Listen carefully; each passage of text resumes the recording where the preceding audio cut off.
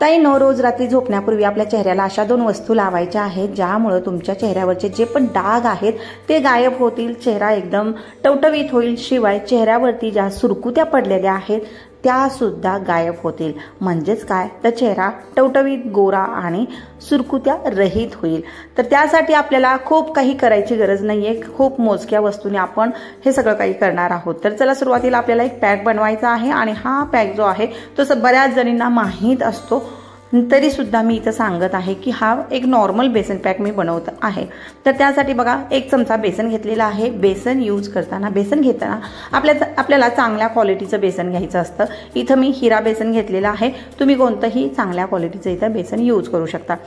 एक चमचा हिरा बेसन घेतलेला आहे. त्यामध्ये एक चिमूटभर आपल्याला किचनमधली हळद घालायची आहे किंवा तुमच्या आवडीची जी पण हळद आहे ती तुम्ही इथं यूज करू शकता. त्यानंतर एक चमचा इथं मी दह्याचा वापर केलेला आहे. आणि व्यवस्थित त्याची पेस्ट बनवून घ्यायची आहे. दही तुम्ही इथं कमी जास्त करू शकता गरजेनुसार. तर बघा व्यवस्थित पेस्ट बनवून घेतल्यानंतर हा पॅक जो आहे तो आपला रेडी आहे. आता तुम्ही म्हणाल की या पॅकमध्ये असं काही विशेष आहे? तर हा पॅक लावल्यानंतर आपल्याला नेक्स्ट स्टेप जी आहे ती कोणती करायची आहे ते सांगणार आहे. त्यामध्ये आणि यामध्ये या दोन्हीमध्ये दोन्हीचा जेव्हा आपण वापर करतो तेव्हा तुम्हाला रिझल्ट मात्र अप्रतिम भेटतो. हे मात्र नक्की. आता बघा बेसनचा हा जो पॅक आहे आपण डेली यूज करू शकत नाही. हे बऱ्याच ताईंना माहीत आहे. तर त्यानंतर आपल्याला कोणती वस्तू लावायची आहे ती कशी लावायची आहे कशासाठी लावायची आहे हे पण पुढे मी डिटेल सांगणार आहे. त्यासाठी व्हिडिओला अजिबात स्किप करू नका.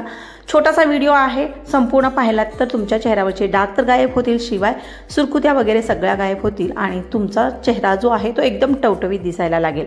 तर बघा चेहरा मी धुतलेला आहे. फेस वॉश कोणताही वापरा तुम्ही तुमच्या आवडीचा. कशानेही धुवू शकता. नाही म्हटलं तर बेसन पिठाने सुद्धा तुम्ही चेहरा धुवू शकता कारण की आता थंडीचे दिवस आहेत थंडी येणार आहे. त्यामुळं शक्यतो साबणाचा फेस फेस वॉशचा वापर थोडासा कमी करा. आणि पिठं वगैरे जे असतात त्याने तुम्ही तो पर्याय तुम्ही निवडू शकता.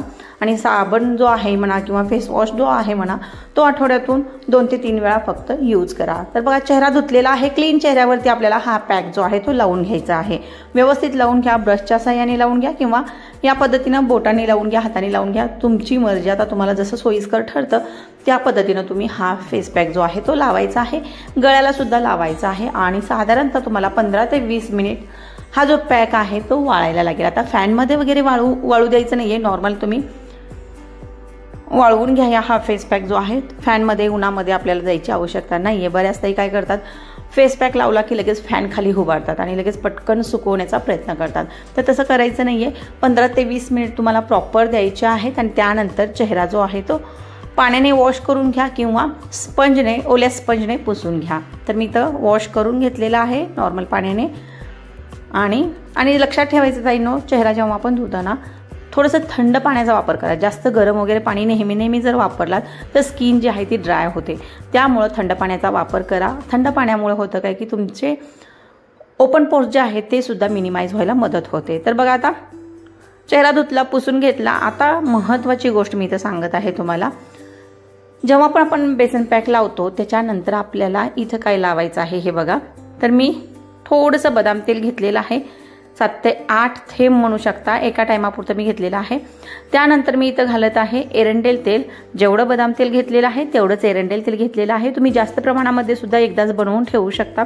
सात दिवसाचं चॅलेंज आहे त्याप्रमाणे. आणि त्यानंतर यामध्ये मी घालत आहे विटॅमिन ई e. म्हणजेच काय? बदामाचं तेल बेदा बदामाचं तेल जर नसेल तर खोबऱ्याचं तेल घ्या तुम्ही कोणतंही. पॅराशूटची बॉटलमधलं वगैरे चालतं.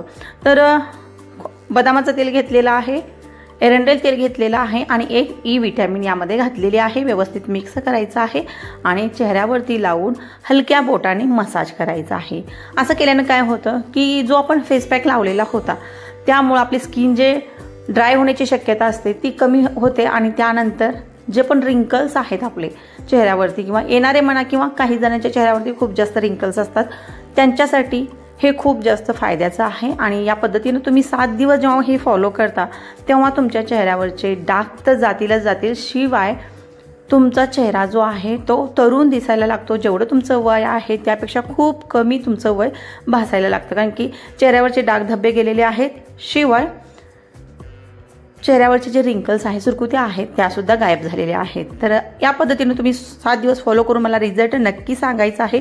कारण की हे वर्क करणार आहे शंभर टक्के. त्यामुळे सांगते परत परत सांगते की सात दिवस कंटिन्यू तुम्ही वापरून मला रिझल्ट नक्की सांगा. तर ताई नो अशा पद्धतीने फॉलो कराल अशी अपेक्षा करते आणि यानंतरचे जे पण व्हिडिओ येणार आहेत तुम्ही कमेंट बॉक्समध्ये मला सांगू शकता. थंडीसाठी कोणते स्पेशल व्हिडिओ आणले पाहिजेत? तर आशा करते तुम्ही हे फॉलो कराल आणि फॉलो केल्यानंतर सात दिवसानंतर मला येऊन याच व्हिडिओ खाली कमेंट नक्की कराल. व्हिडिओ आवडला तर व्हिडिओला लाईक करता नो आणि चॅनलला सुद्धा सबस्क्राईब करून नक्की ठेवा जेणेकरून माझे जे नवीन व्हिडिओ येतात ते तुमच्यापर्यंत पोहोचतील. तर चला भेटूया परत एका नवीन व्हिडिओमध्ये तोपर्यंत बाय आणि सबस्क्राईब नसेल केलं तर सबस्क्राईब करायला विसरू नका. सबस्क्राईब करून व्हिडिओला लाईक नक्की करा.